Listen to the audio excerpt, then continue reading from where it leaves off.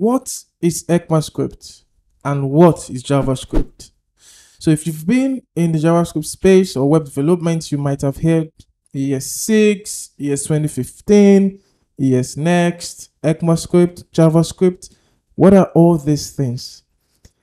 This is what we're going to talk about in this video today. All right, so let's get into it. So JavaScript, as we know, it's a programming language that we could use on our browser and also use um, non-browser with something like Node.js and other runtimes. But do you know that there's a specification for JavaScript? And that's what ECMAScript is.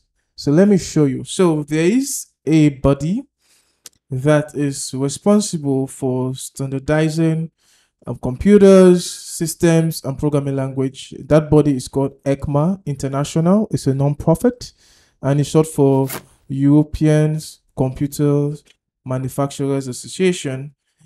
And this is the body that standardized a general programming language called ECMAScript. It's a specification and JavaScript is an implementation of that specification. I would explain more on that in a bit. So let's look at the standards. Let's look for JavaScript. So you could see in the website is standards in this menu here. If we click on standards, it's going to open up a page, show you all the standards that ECMA International have had and they are ref- referenced with this number which is like ECMA dash like uh, some numbers. So what we're looking for is ECMA 262 which is the javascript specification or the ECMAScript specification. Yeah so this this one right here. All right so you could see the last edition for the spec was made june 22 which is ECMA 2022 or es 2022 and um, yeah, so ECMAScript 2022 language specification. If we open that, you would get to see like a document saying this standard defines the ECMAScript 2022 general purpose programming language. All right, so this is the spec.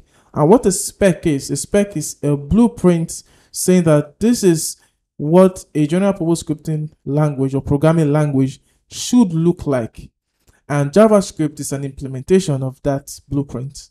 All right.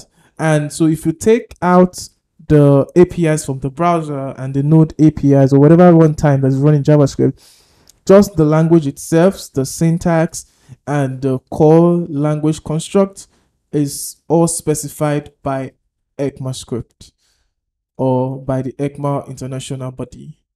So the language or the language spec is ECMAScript JavaScript is an implementation of that spec. And when I say implementation, do note that JavaScript is an implementation of the spec outside the premise of where JavaScript is running. The spec doesn't care where JavaScript is running. It just it just defined the standard. It just defined the standard, like the syntax and everything.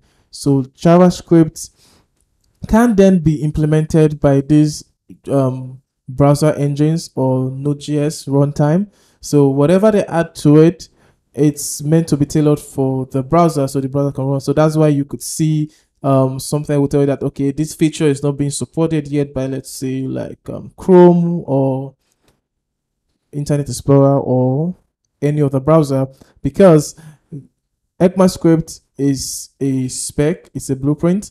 Then the different the different browser vendors have to go implement the the specification which will let the spec run in the browser which is going to run in the form or the implementation of javascript. So in object oriented programming speaking ECMAScript is a class why javascript is an instance of that class because there are, there are other um, um, implementation of the spec but the one which we use and love I love it. It's JavaScript. We use it on the web, we use it on the server side. So I wanted to just clarify that. And you could, so the, for your geekiness, you know the ECMA reference number for the JavaScript or the ECMAScript specification is ECMA 262.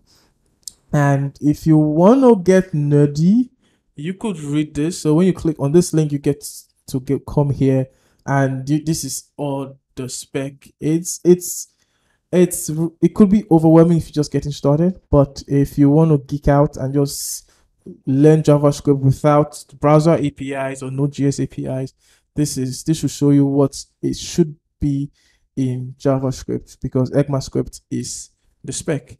So yeah, so that's what I wanted to talk about in this video. So for those who are confused, what is ECMAScript and what is JavaScript, you know that JavaScript is an implementation of ECMAScript, which is a specification for a general purpose programming language standardized by ECMA International with a reference number of ECMA 262.